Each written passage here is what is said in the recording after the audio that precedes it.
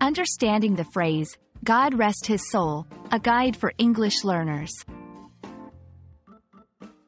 Hello, everyone. Welcome back to our channel. Today, we're going to explore a unique and emotionally rich expression in the English language. God rest his soul. This phrase is not just about words, but also about culture and sentiment. So, if you're ready to deepen your understanding of English expressions, let's dive in.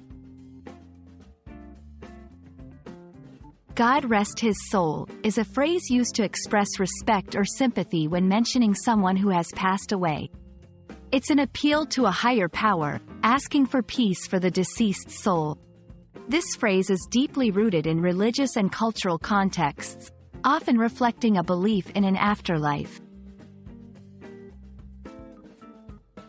This phrase is typically used in informal and formal settings alike but it's essential to understand the emotional weight it carries. It's appropriate during conversations where the deceased is being remembered or mentioned with respect.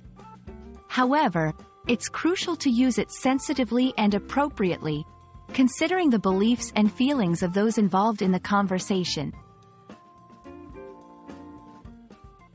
There are variations like, God rest her soul, or simply, rest his soul, depending on the gender and the degree of formality. Similar expressions include, may he rest in peace, or bless his soul. These variations also reflect respect and sympathy for the deceased, demonstrating the richness of the English language in expressing condolences. God rest his soul is more common in cultures and communities with strong Christian influences. It reflects a belief in a benevolent deity and the afterlife. Understanding this phrase also offers insight into how language can be shaped by religious and cultural beliefs. Let's look at some examples.